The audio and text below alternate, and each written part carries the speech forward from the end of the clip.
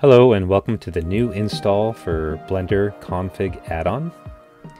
So we are working with Blender 4.3 long-term support. You can either get it from blender.org here or the blender uh, builder.blender.org site where they have the daily builds. So to find that, if you go into just the main page and go to all archived builds, then you can scroll down and get your long-term support. So we're working with uh, any of these will be fine. Actually, the 4.3.1.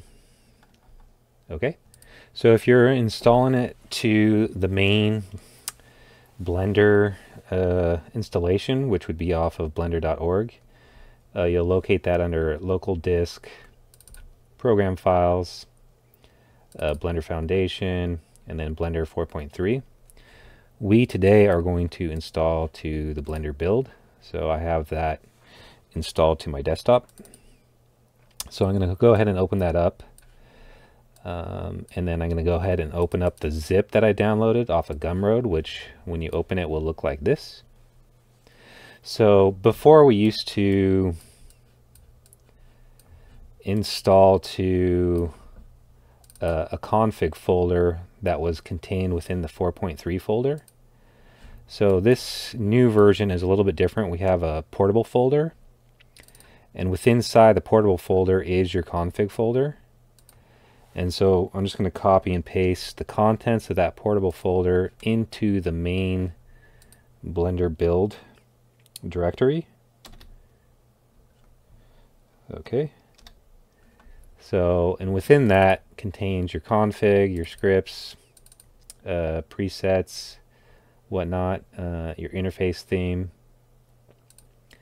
And then I like to also put in the scripts. If we go to 4.3 again, scripts, startup, and then I'm going to grab all of these,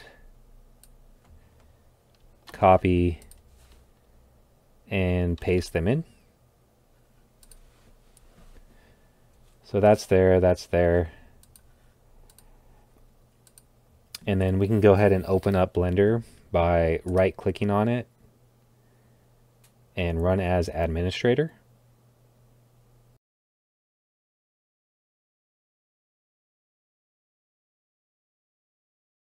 Now once you're in Blender you can um, you can right click and you should see your marking menu and then you'll know that your hotkey uh, stuff is working and installed.